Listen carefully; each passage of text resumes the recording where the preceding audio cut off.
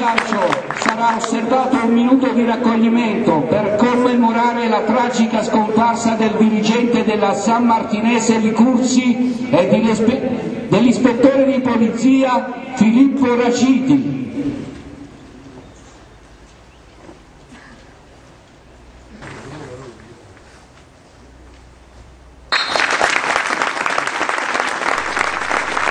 Al Lusso Fittipaldi di Francavilla si gioca la ventiduesima giornata del campionato interregionale Girone H tra Francavilla e Petacciato.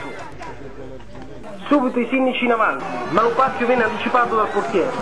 Questo è il preludio al gol che arriva al sesto minuto del primo tempo, sempre con Lupacchio che si invola verso la porta e intacca la sinistra del portiere.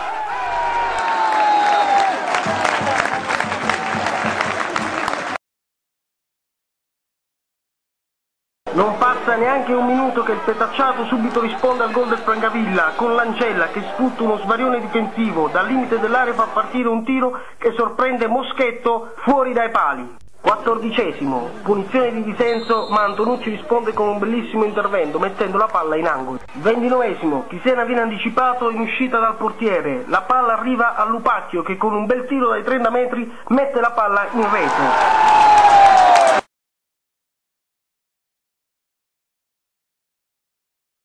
Il Petacciato prova a riportarsi in parità al 44esimo con un calcio di punizione di Pini ma la palla sorvola l'attraverso.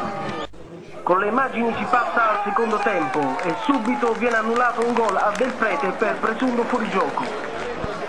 Settimo minuto viene espulso Lima per il Petacciato ma al dodicesimo arriva il pareggio di Lancella che sfrutta ancora una volta un'indecisione della difesa del Francavilla.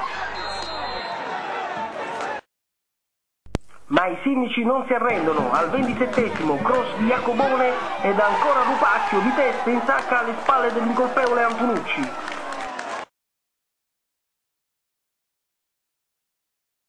Dal replay vediamo l'esultanza di Lupacchio, il protagonista della partita. Non passa neanche un minuto che Jacobone viene espulso, ripristinando la parità numerica. Latic ricorre ai ripari, sostituendo Lupacchio per Mantillo. Al 32esimo il Petacciato ci riprova a riportarsi in parità con Del Giudice, ma Moschetto si fa trovare pronto. Ma al 40esimo il Frangavilla chiude la partita con un bel gol di disenso servito da un bellissimo colpo di tacco di Mels.